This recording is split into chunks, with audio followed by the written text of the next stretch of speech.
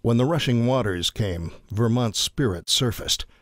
Now, left to replace the irreplaceable, together we will rise higher than any river ever could. The H Team pays tribute to the strength and spirit of Vermont's communities and volunteers, but the hardest work is still ahead.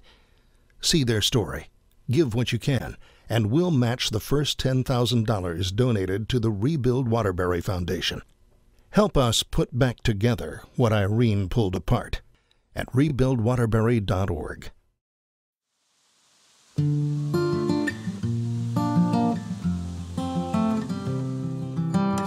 As Hurricane Irene approaches, the time for all of us prepare for a worst case scenario is right now. We are right in the path, and a state of emergency has already been declared. 110 mile per hour wind. Tropical force winds extend out almost 300 miles from the center of the storm. Right now, evacuations have been issued up and down the East Coast. We have seen record flooding in Vermont.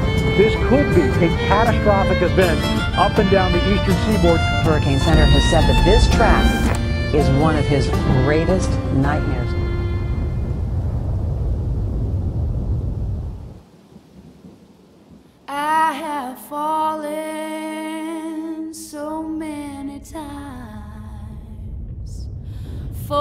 The devil's sweet cunning ride. This old world has brought me pain, but there's hope for me again. Well, won't you take me down to the levee? Take me down to the stream. Take me down to the water. We're gonna wash our souls clean. After the winds whipped up, I thought, well, uh, you know, better take a look outside, and, and we could see the water starting to rise. I helped some neighbors off their porch, um, and we were at we were really chest deep by the time we got out at that point. I had the radio on, and the weather forecaster was talking, and he said, you know, this could rival 1927. And I remember literally yelling at the radio, "What are you saying?" When we were able to finally get through here, it looked like a war zone. I mean, I, it just looked like a bomb had gone off and things are everywhere, and pieces and parts and machinery and whatever. It was all over the place. No power, of course, no water. It was, you know, hard to see anything. The river just overtook its boundaries and, and um, did damage that was just unbelievable.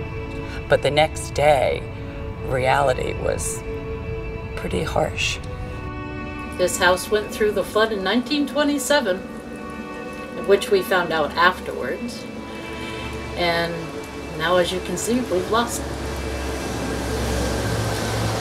But everybody that helped us needs to be thanked, like Norwich University, the students, the civilians, the civilians that came in from all over Vermont to help us, my family,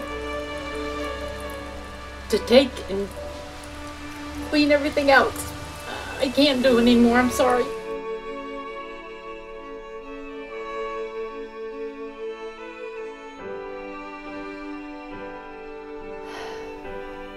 I, uh, I'm here because me and our town got hit hard by uh, Irene. All that water flowed down the Dog River from Northfield and down the Mad River from Waitsfield and Warren and Moretown and Fayston into the Winooski River east of Waterbury, and then it flowed here.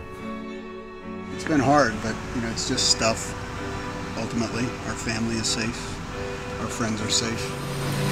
You know, the despair, and, and you're so overwhelmed that you just want to, you know, just run away and disappear.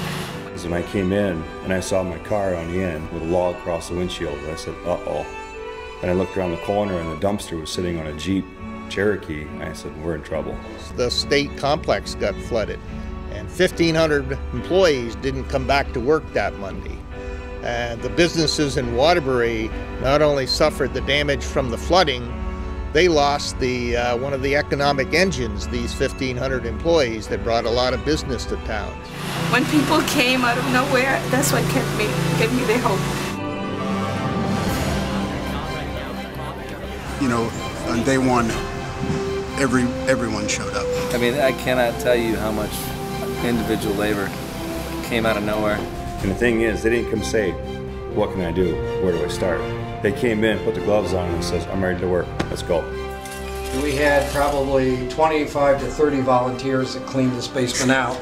We were determined to keep Radio Vermont News on the air no matter what. We were doing frequent updating. We went commercial free all night long. Essentially, Beards and I were on the air for 28 hours. Everybody was just in the doing moment. We're not thinking about the ramifications. Found more and more hands reaching in, just volunteers coming from everywhere. People we didn't know, neighbors, people from towns away, just asking how they could help out. Try and deliver all the FEMA products as much as we can, as quickly as we can. But it wasn't like it was somebody directing the whole thing. Everybody just worked and did their particular part. This is a great example of why we love Vermont, why we live here, why we cherish our communities, our neighbors, our friends, and I can't tell you how proud I am of you. Thank you so much. I think it's made people realize what's important and what's not. Um, you know, people brought everything that's in this building and filled it in an hour and a half. But I think it's brought the community together in ways that maybe they never had before. This community is absolutely awesome. You're family here.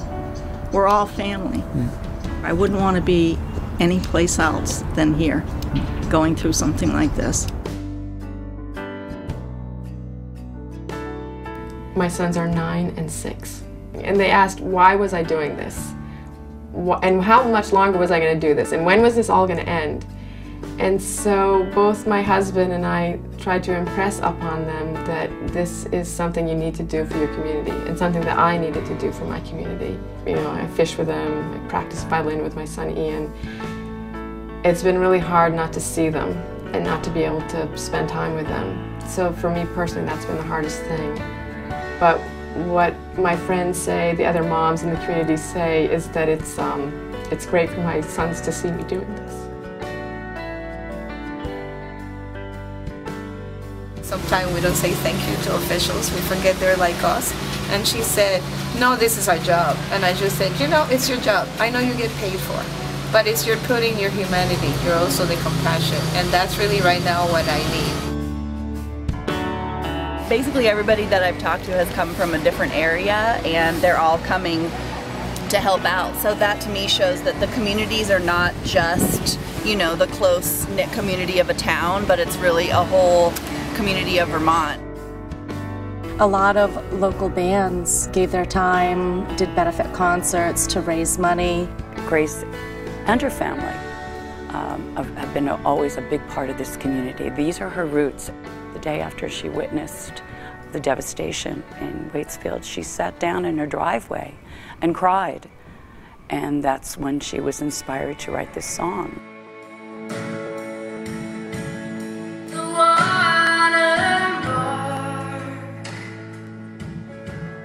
is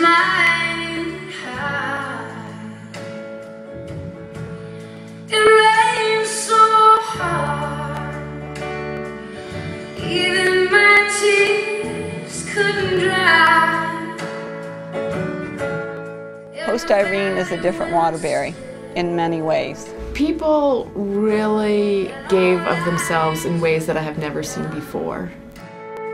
I happened to see Rick on the news talking about his situation. And it was just such a positive attitude that I said to myself, this is somebody who we could have live with us.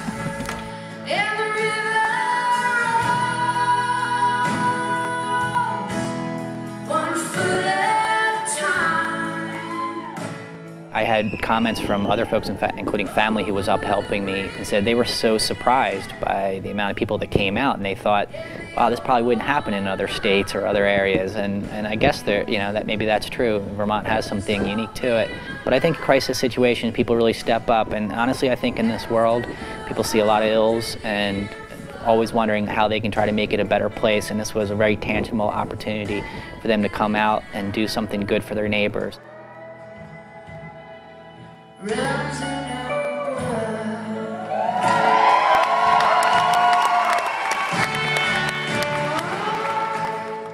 to make a decision that you're going to rebuild is hard enough, but if you don't even know whether your customers are going to be there, if you do rebuild, it just makes it harder to make those decisions.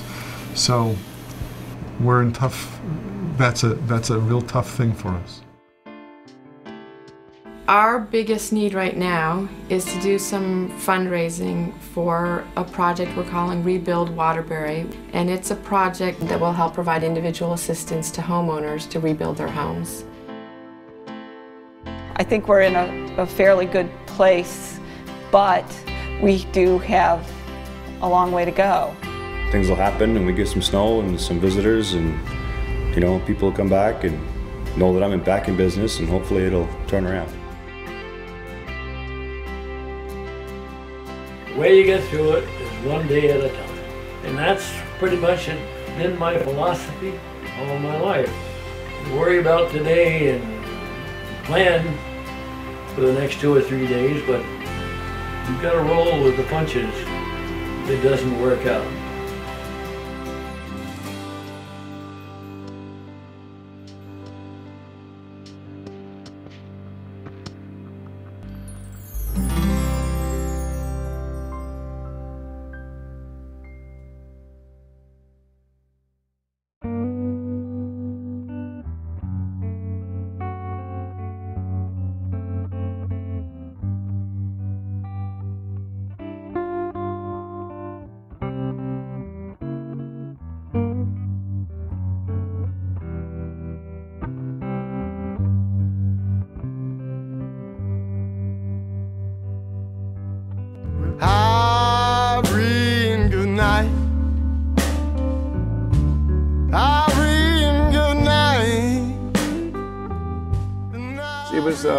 It was like being in, in the movie Fantasia, just watching everybody do what they do, all the pails and all the stuff going around, and uh, it was as bonding as anything I've ever done. Is maybe not quite as bonding as skiing, you know, three feet of powder with, with your best friends, but it was close. I I look forward to finally having some drinks sessions with Gav and finding out what all the fuss is about.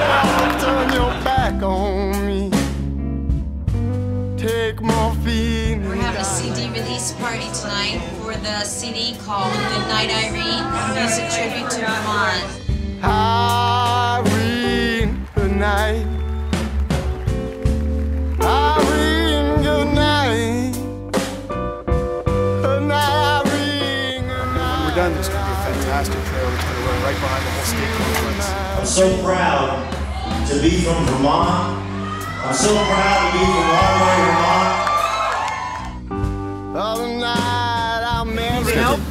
Uh, I will tomorrow. We're done today. Right. Thanks very much. Thanks, man.